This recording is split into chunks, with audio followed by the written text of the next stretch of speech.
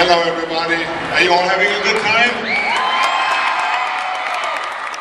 I tell you that uh, I'm having a good time. I'm walking around from hall to hall to see all the different sports. I just watched table, uh, table tennis, and uh, later on I'm going to watch martial arts and the lifting and the bodybuilding, all the different things. But now I wanted to watch the gymnastics because I love gymnastics.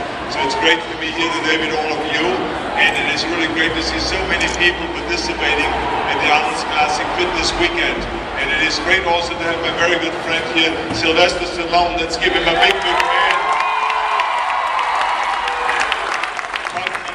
This fit. This just finished his movie, and let me tell you something.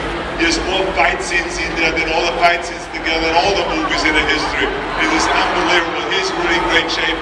But we're giving him an award for the Lifetime Achievement Award because of his great contribution of uh, inspiring people to do training, exercising, and do weight training. So let's give him a big hand again for being here today. Who wants to say a few words to you in? He never puts me on the spot, does he? Thank you. I just happen to have a speech written. Oh, I sort of forgot it.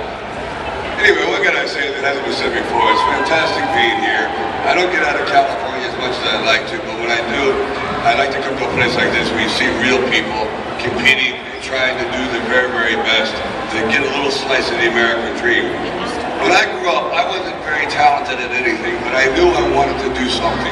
So I continued to try and try and try, and eventually, uh, I got to be on the same stage as the great Arnold. And here I am. So my uh, advice to you is never listen to anyone, never give up, never give in, never give out.